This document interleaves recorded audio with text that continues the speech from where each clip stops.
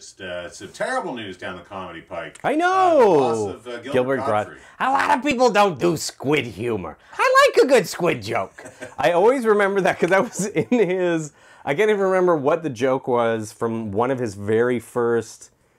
Just for laughs, like 1984 or something. It was so long ago, and all I, I, I vividly just remember the crowd is not into it. And he's like, "A lot of people don't do squid humor," and every time uh, Jason and I think of Gilbert Gottfried, we think of, "I like a good squid joke." and uh, and then I, I met him a few times at Just Laughs, but the first time I met him, I was like, "Hey, uh, Gilbert." I always say like a lot of people don't do squid humor. He was always, "Oh yeah, I said that, didn't I?"